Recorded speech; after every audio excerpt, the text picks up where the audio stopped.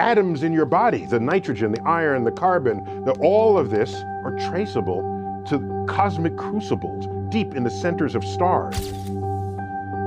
Every time astronomers use telescopes to peer deeper into the past, they find something new. The James Webb Space Telescope is a prime example of this.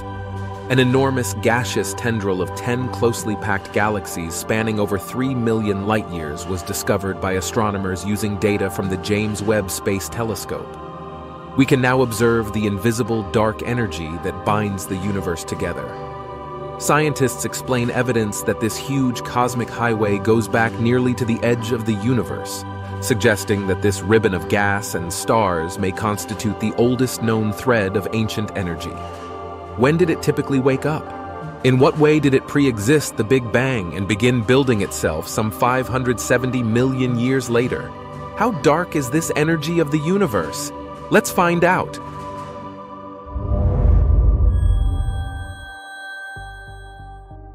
A gigantic, unseen network with intertwining tendrils permeates the entire cosmos. This dark web is unseen, despite the fact that it organizes the stuff we can see in space.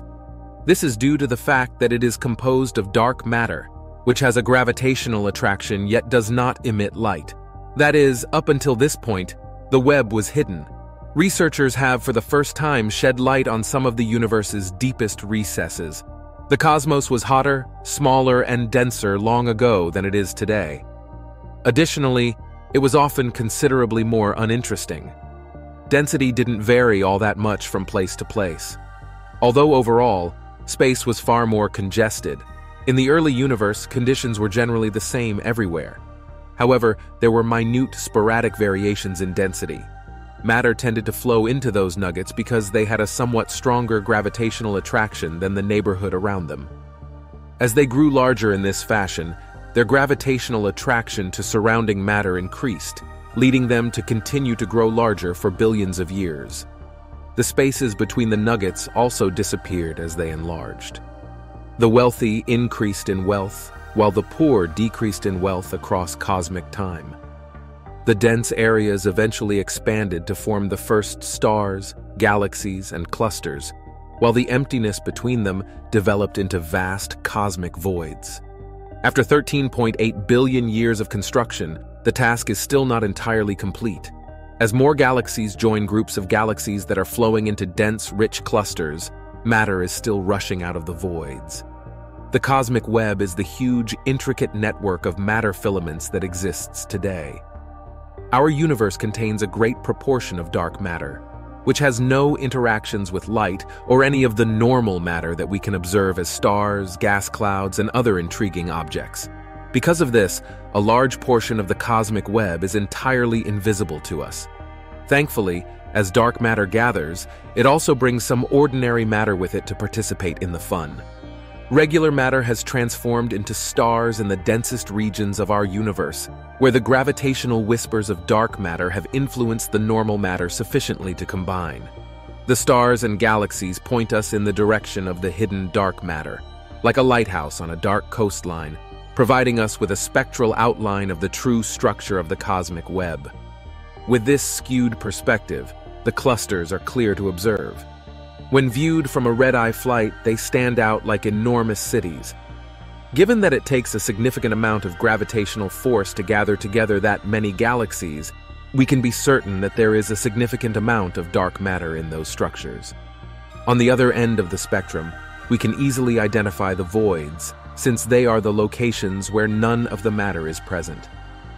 We know that these voids are, for the most part, truly empty, since there are no galaxies to illuminate them. But the tiny lines of the threads themselves are what give the cosmic web its grandeur.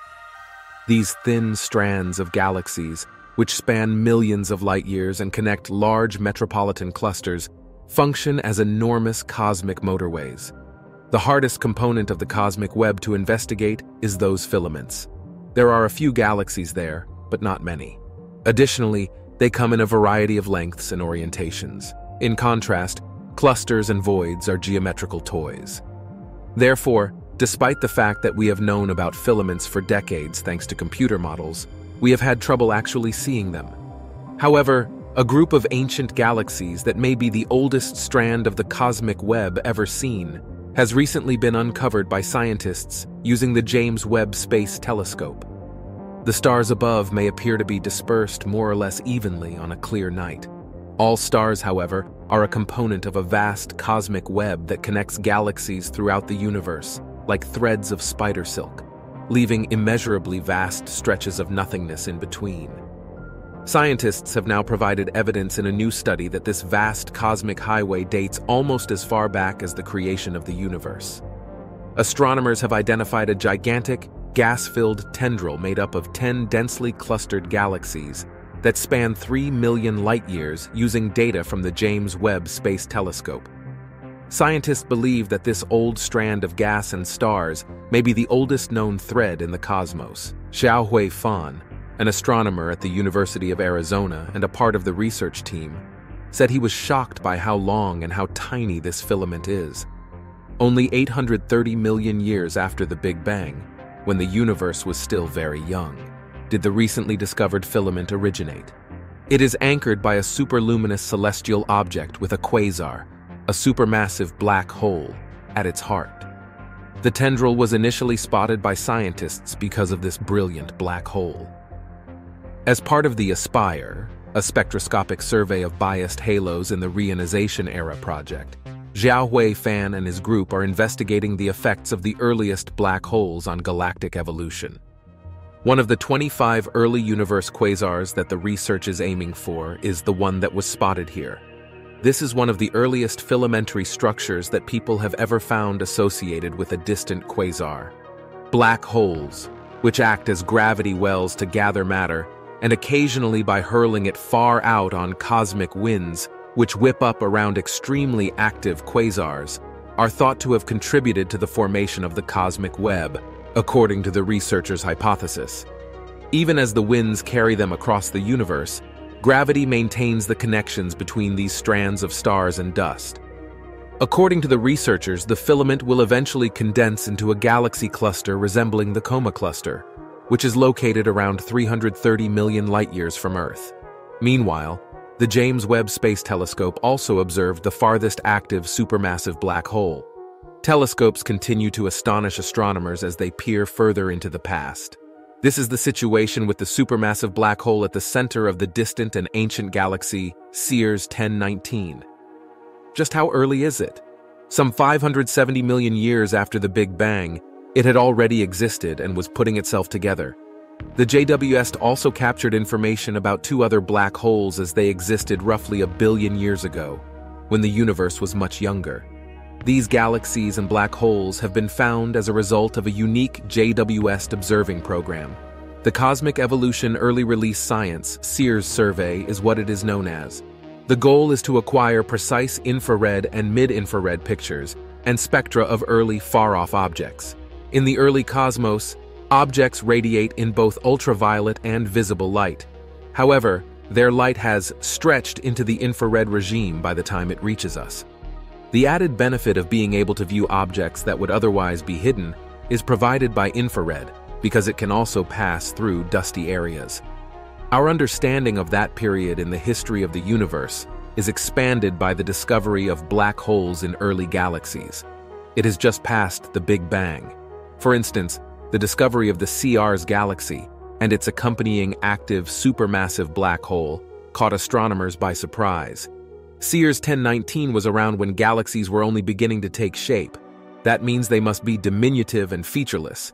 If there were black holes at such an early time, their masses would be small by black hole standards, right? Okay, so it's not that simple. As it happens, those black holes do have smaller masses. One of them at least remains abnormally huge. The proof for this is According to Steve Finkelstein, PI of the CEERS survey, JWST can examine both early galaxies and their black holes, saying that, until now, research about objects in the early universe was largely theoretical. Black holes and distant galaxies are now visible and measurable with the Webb telescope. That's how potent this telescope really is. How impressive is the black hole in CEERS 1019? There are three brilliant blobs, but no discernible disk, making up the galaxy so it's still putting together its framework and producing new stars. We're not used to seeing so much structure and images at these distances, said Jeyhan Kartaltepe, an associate professor of astronomy at the Rochester Institute of Technology in New York and a member of the CEERS team. Increased star production and activity near the galaxy's black hole have both been linked to mergers of galaxies. How about the young supermassive black hole it created? It has 9 million solar masses and is actively consuming gas. It's smaller than some other black holes from the same age, but it's still greater than anyone anticipated. It's intriguing because it appears to have originated soon after the Big Bang, at a time when the universe was still young. It's interesting to note that the black hole resembles the Milky Way's central black hole, Sagittarius A, more closely than previously thought. And that's intriguing because it's a mystery. Recent UT Austin PhD recipient and study leader Rebecca Larson remarked, Looking at this distant object with this telescope is a lot like looking at data from black holes that exist in galaxies near our own. There are so many spectral lines to analyze. The spectral lines provide additional properties, while the infrared view reveals the galaxy structure. For instance, spectra can identify the temperatures and velocity of high-energy outflows. The spectroscope records the black hole and its host galaxy in the case of CEERS 1019. Its statistics show the rate of star creation as well as the black hole's thirst for gas. It will be intriguing to observe if additional galaxies in the CEERS survey exhibit this scenario. These initial findings, however, are motivating scientists to improve their theories on black holes and galaxy formation in the developing universe. The focus of CEERS is particularly on these items as they were during the reionization epoch. At that time in the cosmos, light started to move freely throughout the expanding universe. The gas between stars and galaxies was ionized by the light that originated from the first stars. Galaxies seem to have started to form around this epoch, and possibly much earlier. The survey data includes information on the accumulation of stars, stellar mass, the structural modifications that resulted in the galaxies, and the development of those early black holes. Therefore, Understanding this time period is essential for building a timeline of the universe's beginnings and development through the formation and evolution of those early galaxies.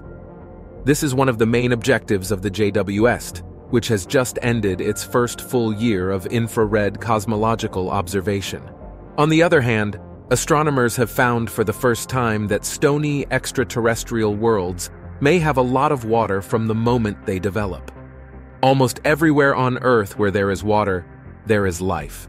As a result, the hunt for the presence of water has been the main focus of the search for potentially habitable exoplanets. Previous studies revealed that water-bearing asteroids impacting our infant planet's surface after it originated provided the newborn Earth with a significant portion of its water.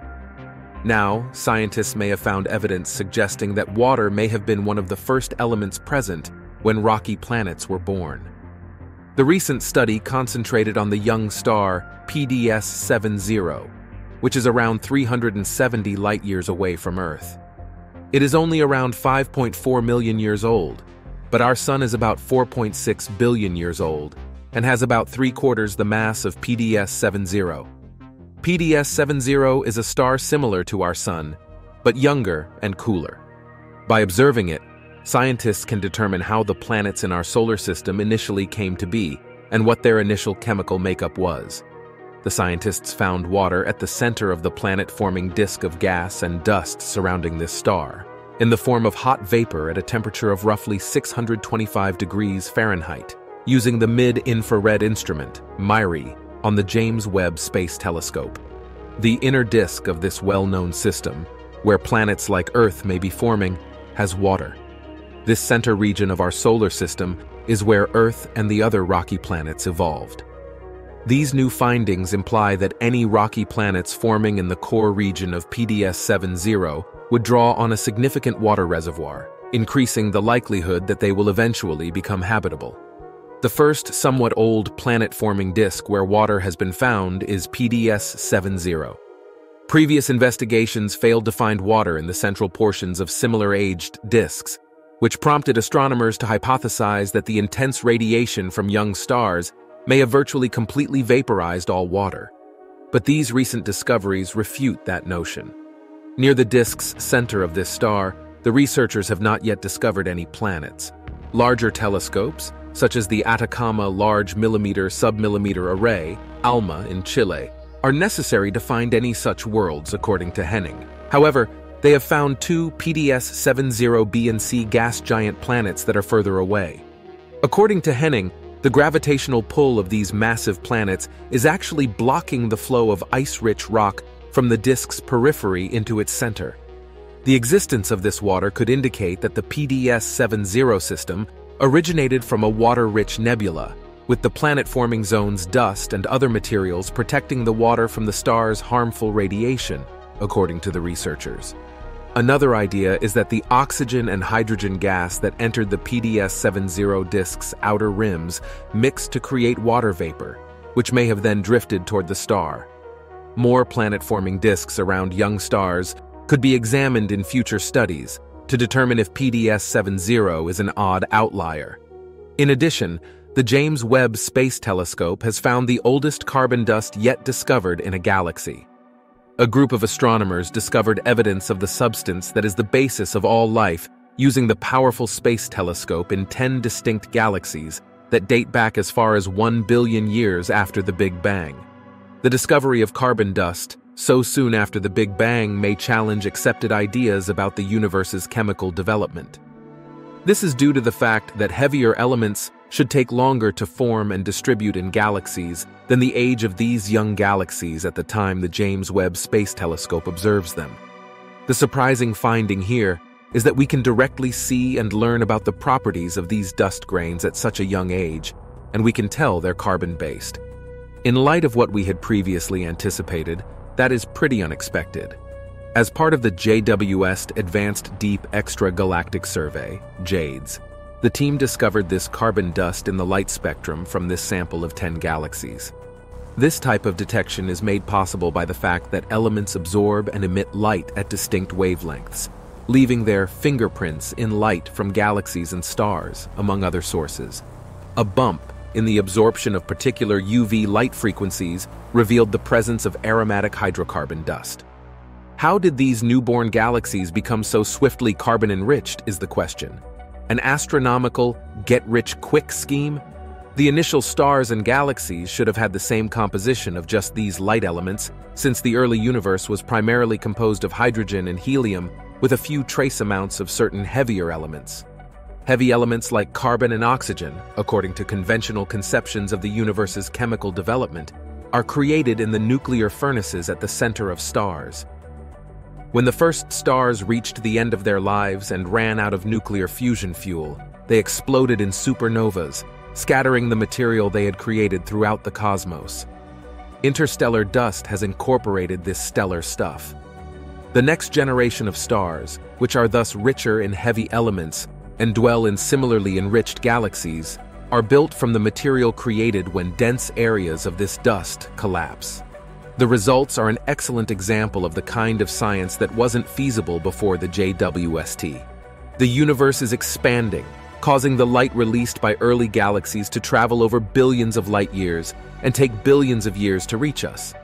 The more distant, and hence earlier the galaxy, the more intense the redshift is, stretching out light from the very first galaxies to infrared wavelengths. This causes ultraviolet light from galaxies to be pushed down the electromagnetic spectrum, a process known as redshift. Since these galaxies have been illuminating the universe for up to 12.8 billion years, their light has evolved into infrared radiation. Only the JWST is able to resolve details like these carbon fingerprints in the light from such far-off galaxies because it is the most sensitive infrared space observatory ever launched. The James Webb Telescope still has a lot of work to do. Thanks for watching another episode of Voyager. While you're still here, make sure to click the video on your screen for more mind-blowing videos about space.